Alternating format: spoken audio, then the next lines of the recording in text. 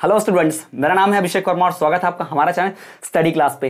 तो जैसा कि आपने थंबनेल में देख लिया है कि भाई, आखिरकार एमपीडीएड को बच्चों पर दया आ ही गई और टाइम टेबल डिक्लेयर कर दिया गया। जी हाँ एमपीडीएड की प्रथम वर्ष और द्वितीय वर्ष की परीक्षा की तारीखों का ऐलान हो चुका है। नोट कर लो, सत्रह अगस्त। जी हाँ सत्रह अगस्त से भाई परीक्षा की तैयारी शुरू कर दो। पहला पेपर सत्रह अगस्त होगा प्रथम वर्ष का। और द्वितीय वर्ष का पहला पेपर भाई उसी दिन सत्रह अगस्त को ही होगा। इस बात को ध्यान में रखिए। ठीक है, दोनों का भाई, दोनों विषय का पेपर मतलब दोनों ईयर वालों का पेपर एक साथ होगा। तो मैं एक एक करके इस वीडियो में क्या डिस्कस करने वाला हूँ, क्या बताने वाला हूँ, पूरा देखेंगे। तो पूरे टाइम टेबल का निचोड़ देखेंगे कि जो नोटिफिकेशन डीएलएड की तरफ़ से आया है एमपीडेड की तरफ़ से, कि दोनों वर्ष की जो परीक्षाएँ हैं, क्या नियम है टाइमिंग क्या रहेगी, विषय कब कब है उनके बीच एक विषय के बीच अंतराल गैप कितना है, कितनी छुट्टी मिल रही है, कितना नहीं, ये सब कुछ डिस्कस करेंगे। तो चलिए शुरू करते हैं, लेकिन शुरू करते हैं। छोटी सी रिक्वेस्ट कि चैनल को सब्सक्राइब ज़रूर कीजिए। ऐसी नोटिफिकेशन के लिए पूरा पढ़ना चाहते हो एग्ज़ाम तक guessing paper important question answer सब देखना चाहते हो तो चैनल को सब्सक्राइब करके बेल नोटिफिकेशन पर डाल दो, ताकि सब कुछ सबसे पहले मिले, कुछ भी भूलो मत। और हंड्रेड गारंटी दे रहा हूँ, आपकी डेट की परीक्षा की तैयारी इसी चैनल से होगी, पूरी हंड्रेड होगी।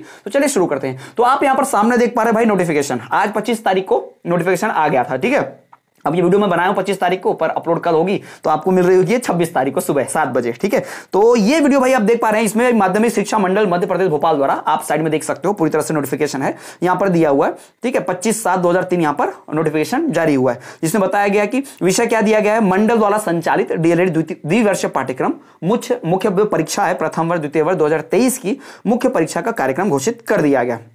तो मैंने बताया कि इस पर तीसरा पॉइंट देखेंगे आप। तो मंडल द्वारा संचालित डीएलएड प्रथम द्वितीय वर्ष की परीक्षाएँ प्रातः आठ और ग्यारह बजे के मध्य होंगी। यानी सुबह आठ बजे से ग्यारह बजे तक, तीन घंटे का समय होता है। तो आपकी परीक्षा सुबह आठ बजे स्टार्ट होगी। यानी आपको एग्ज़ाम सेंटर पर भाई सुबह आठ बजे से पहले पहुँचना पड़ेगा। सात बजे पहुँच जाना पड़ता है। सात, साढ़े सात बजे। एक घंटा पहले पहुँचते हैं। पैंतालीस मिनट, आधा घंटा पहले पहुँचते हैं। तो आप सात बजे पहुँच जाना, ठीक है? और मैं भी किसी डेट की एग्ज़ाम सेंटर पर ज़रूर जाऊँगा। अभी जब एग्ज़ाम स्टार्ट होगी तो मैं भी छात्रों के पास पहुंचूँगा, डेट के किसी सेंटर पर। मेरे घर के जो आसपास होगा, वो सेंटर पर जाऊँगा वहाँ देखूँगा कि छात्र कैसे परीक्षा दे रहे हैं, उनसे बातचीत करूँगा, ठीक है? उनका उत्साह ज़रूर बढ़ाऊँगा। तो हो सकता है आप भी वहाँ मिल जाए मुझे। चलिए तो बात करते हैं। यहाँ दिया हुआ है कि कार्यक्रम कुछ इस तरह से चलेगा। और ये नोटिफिकेशन आ चुका है। और आपके सामने अब यहाँ पर दिया हुआ है भाई 2023 का प्रथम वर्ष का कार्यक्रम। तो यहाँ पर फ़र्स्ट ईयर का टाइम टेबल देख सकते हो। तो यहाँ पर आप देखोगे, समय दिया है प्रातः आठ से ग्यारह बजे का, ठीक है? और time eight to eleven AM morning दिया हुआ है। पहले बता दूँगा आपको, समय से एक घंटा पहले सेंटर पर पहुँचना होता है। कई लोग बोलेंगे, सर सेंटर चेंज करने का ऑप्शन तो भाई, इस साल सेंटर चेंज करने का ऑप्शन क्यों मिलेगा?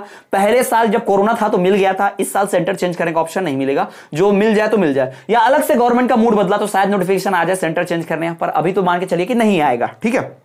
तो प्रथम वर्ष में भाई दस विषय होते हैं, सबको पता है, ठीक है? तो प्रथम वर्ष के दस विषयों का टाइम टेबल यहाँ दिया है। तो एक बुरी खबर यह है कि भाई इस बार परीक्षा में कोई भी अंतराल नहीं है। पिछली बार परीक्षा में दो दो दिन का एक एक दिन का गैप था, लेकिन इस बार कुछ भी नहीं है। परीक्षा सत्रह, भाई गुरुवार है, सत्रह अगस्त को एक, फिर अठारह अगस्त को दूसरा, उन्नीस अगस्त को तीसरा, फिर बीस को भाई संडे आ जाता है तो इक्कीस अगस्त को एक दिन मिल जाता है समय, है ना?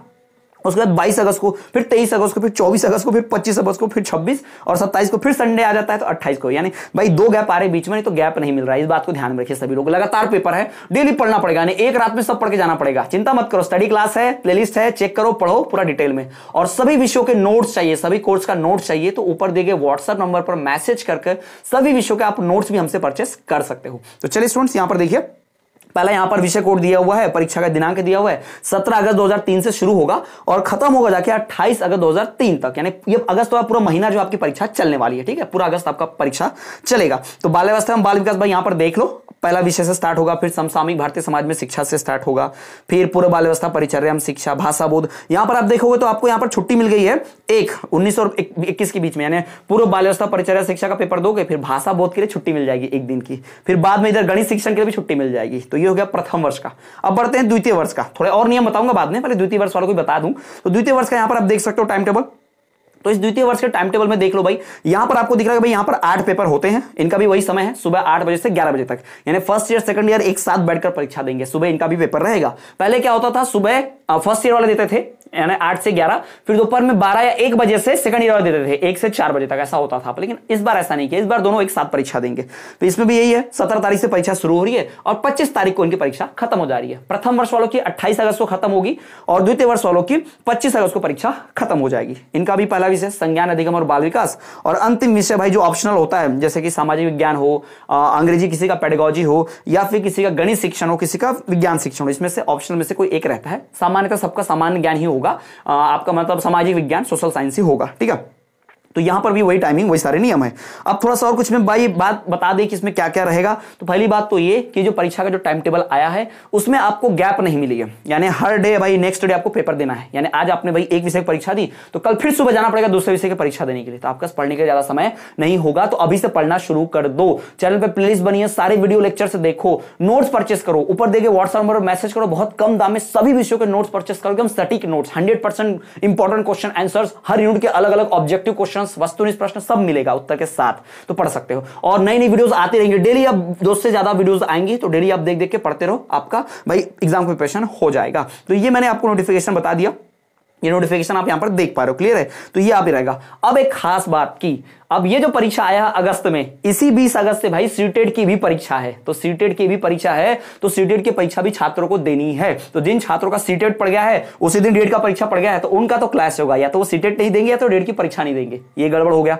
अब एमपी बोर्ड भाई इसको चेंज करता है कि नहीं करता है, पता नहीं, लेकिन डेट तो आ गई है। दूसरा, बिहार के जो स्टूडेंट्स है भाई, बिहार के स्टूडेंट्स का थोड़ा तो सुन लिया गया है, इकतीस अगस्त से पहले परीक्षा खत्म हो जा रही है।